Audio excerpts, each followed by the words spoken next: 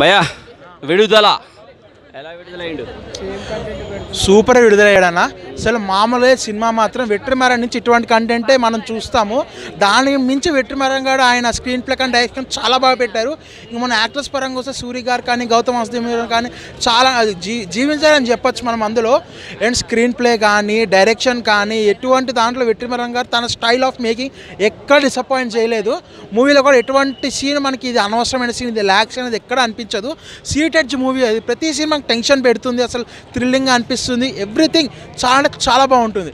And ఆ విజయ్ సేతుపతి కసేపే ఉంటారు like glimpse అన్నట్టు. కానీ ఆ వచ్చిన ప్రతిసేపు మనకి గూస్ బంప్స్ అనిపిస్తుంది. ఇక పార్ట్ టూకి జస్ట్ క్లైమాక్స్ జస్ట్ ట్రైలర్ వదిలేరు పార్ట్ టూకి అది మాత్రం చాలా అంటే చాలా అయిపోయింది పార్ట్ టూకి మనం కేజీఎఫ్ టూకి ఎలా వెయిట్ చేసామో బాహుబలి టూకి ఎలా వెయిట్ చేసామో ఈ సినిమా పార్ట్ టూ కూడా అలాగే వెయిట్ చేస్తాం.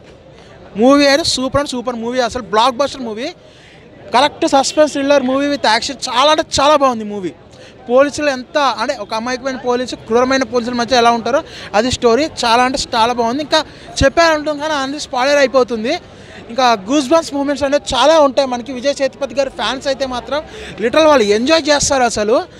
చాలా అంటే చాలా మూవీస్ అంటే సీట్లో సెకండ్ పార్ట్ మాత్రం సీట్లో కూర్చోరు జనాలు. అంత హై ఉంటారు. ట్రైలర్ చూస్తేనే అర్థమైంది మనకి. క్లైమాక్స్లో విడుదల టూ ట్రైలర్ చూపించారు.